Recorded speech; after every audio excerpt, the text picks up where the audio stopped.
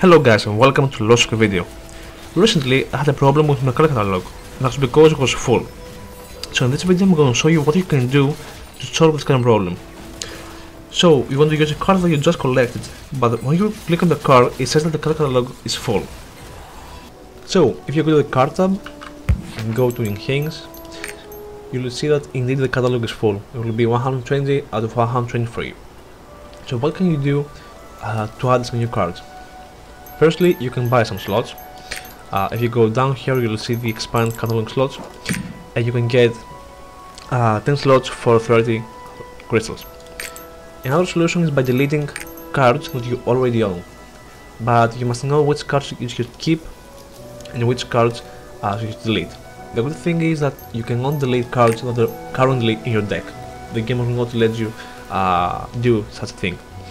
Another good thing is that if you go to the books, and go to a book that you already have, it doesn't matter if you delete the cards of, of this book.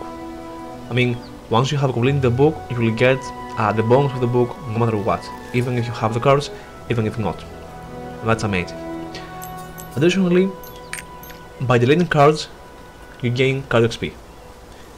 The card XP, uh, the card XP gain depends on the rarity of the card you deleted.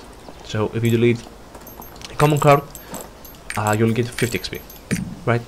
And if you delete a card that you have twice, I have this one twice, it says plus one here, it means that you have twice, you'll get twice the XP you will get originally, 100. And if you have a card three times, you'll get three times XP, and etc. So with common, uh, if you delete the common card, you get uh, 50 XP. If you delete another common card, you get 150 if you delete a rare you get um 300 right? Yeah.